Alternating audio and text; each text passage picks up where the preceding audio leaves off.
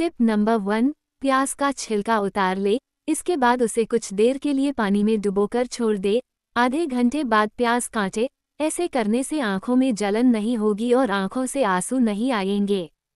Tip number two, दही जमाते वक्त दूध में कच्चे नारियल का छोटा टुकड़ा डाल दे। दही कई दिनों तक फ्रेश रहेगा। टिप नंबर थ्री, हलवे में सूखी चीनी ना डालकर शक्कर की चाशनी बनाकर डालें।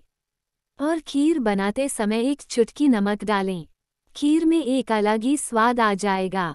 टिप नंबर फोर, गाजर को कम समय में छीलना हो तो उसे गर्म पानी में पाँच मिनट तक भिगोकर रखें और छीलने से दो मिनट पूर्व से ठंडे पानी में डालें। टिप नंबर फाइव, नींबू को फ्रिज में रखने से अक्सर काले पड़ जाते हैं।